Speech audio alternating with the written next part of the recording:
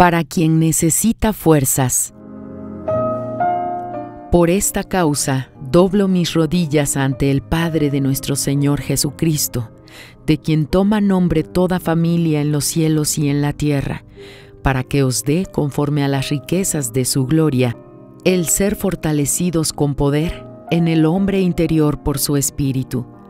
Efesios capítulo 3 versículos del 14 al 16.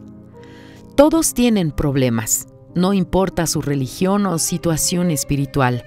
Aunque su problema involucre sentimientos como el sentimental, que es el más común, solo hay una solución, recibir el Espíritu de Dios. El Espíritu Santo es la solución para cualquier problema. Él cambia su mente, Él cambia su corazón, le da la fuerza para vencer y superar los traumas del pasado. El Espíritu Santo es el Espíritu de Dios que actúa en nuestro interior y hace que se forme en nosotros un nuevo carácter al punto de que logremos sobrepasar todas las barreras, todas las dificultades. En todo lo que viene contra nosotros somos más que vencedores cuando tenemos el Espíritu de Dios. Usted que leyó los libros de la trilogía Nada que Perder y lloró junto a mí, vio las luchas que enfrentamos, vio que prácticamente llegamos al infierno. Pero ¿por qué logramos salir ilesos? A causa del Espíritu Santo.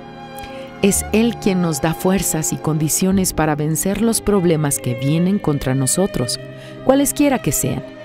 Usted que está gimiendo y quiere realizar sus sueños, usted que quiere vivir una nueva vida, todo eso se resuelve con la presencia del Espíritu Santo. Él puede hacerlo libre. El Espíritu Santo es la solución para restaurar la familia. El Espíritu Santo es la solución para una enfermedad incurable. El Espíritu Santo es la solución para todo tipo de problema. ¿Cómo recibirlo? Entréguese 100% a Él.